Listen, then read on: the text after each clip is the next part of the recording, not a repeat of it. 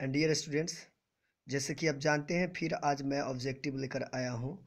Objective question twelfth के लिए, Bihar board के स्टूडेंट्स के लिए, जिसका नाम है ओड टू ऑटम ध्यान देंगे। बहुत इम्पोर्टेंट है। और विद्यार्थियों को ये पता है कि घर पर बैठकर ही हमें इसे पढ़ना है। और यह भी पता है कि बाहर जाना नहीं है। इस लॉकडाउन में बैठकर इसका पूरा पूरा फ़ायदा उठाना है। और मैं चाहता हूँ कि मेरे ये प्रैक्टिस जारी रहेगी, मेरा ये कार्य जारी रहेगा। और विद्यार्थी लोग भी अपना काम जारी रखेंगे। तो चलिए हम देखते हैं, ज़्यादा समय नहीं लगाते हुए देख रहे हैं। ऑब्जेक्टिव क्वेश्चन है, और टू ऑटम का। और इसके बारे में मैं थोड़ा सा बताना चाहता हूँ। जैसे कि आपको पता है ओ टू ऑटम जो है जॉन किट्स के द्वारा लिखा गया है। और जॉन किट्स का जन्म लंदन में इंग्लैंड के लंदन में हुआ था। और उन्हें इंग्लिश पोएम में उन्हें रोमांटिक पोएट भी कहा जाता है। और तो चलिए हम आगे देखते हैं। ये ओ टू ऑटम में पहला क्वेश्चन है। ध्यान देंगे।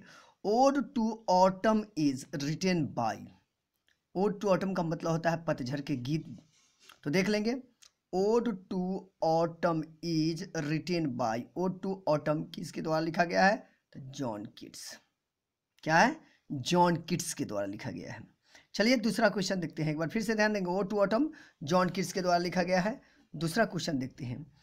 दूसरा ode to autumn is a drama story poetry essay तो ओड टू ऑटम एक पोएट्री यानी पोयम या पोएट्री तो इसमें ऑप्शन पोएट्री है तो पोएट्री मानेंगे पोएट्री है। ध्यान दीजिए। तीसरा क्वेश्चन है। तीसरा क्वेश्चन हम देख रहे हैं। Ode to autumn is an बहुत इंपॉर्टेंट है, बहुत important question ode to autumn is an epic winter ode none of which तो गीत, ओड का मतलब होता है गीत तो यहाँ ओड ही होगा, ओड। ऐसे आपका चैप्टर का भी नाम है, ओड टू ऑटम इपिक माने काव्य होता है विंटर विंटर माने तो जानते हैं, ठंडी जरा होता है।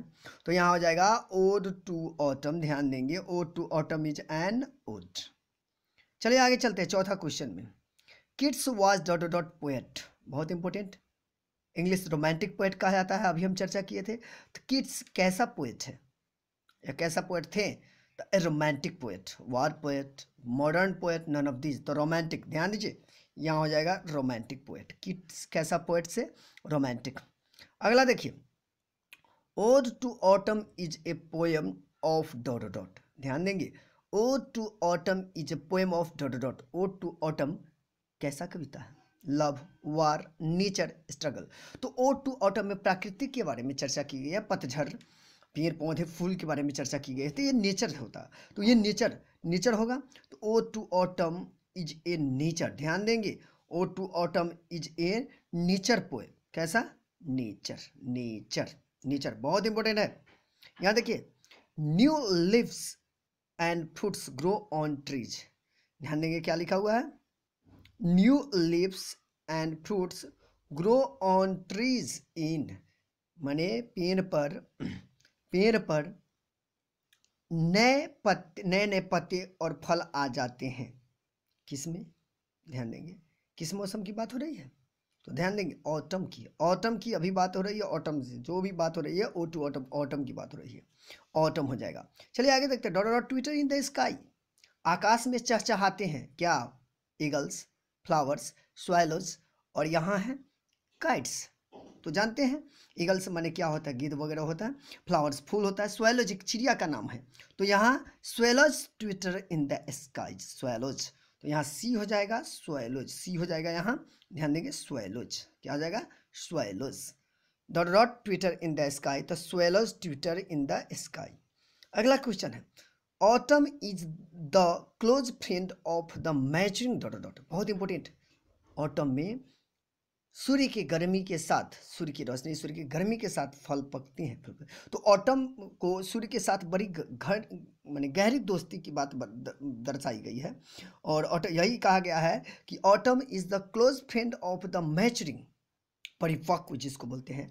तो ऑटम किसका क्लोज फ्रेंड है? तो सन का। ध्यान दीजिए, यहाँ ए सन का। सन का। ध्यान देंगे autumn starts after the departure of autumn यानी ऑटम जो पतझड़ ऋतु होते हैं, मौसम होते हैं, वह किसके समाप्ति के बाद शुरू होता है? तो समर के समर के समाप्ति के बाद, यानी कि बी यहाँ देखिए, समर लिखा हुआ है बी समर समर के, बहुत important autumn starts after the departure of summer अगला क्वेश्चन है John Keats was born in ध्यान देंगे John Keats was born in John Keats का जन्म कब हुआ था? तो सत्रह सौ पंचानवे ईस्वी में। बहुत इंपॉर्टेंट जॉन किट्स का जन्म सत्रह सौ पंचानवे ईस्वी में हुआ था।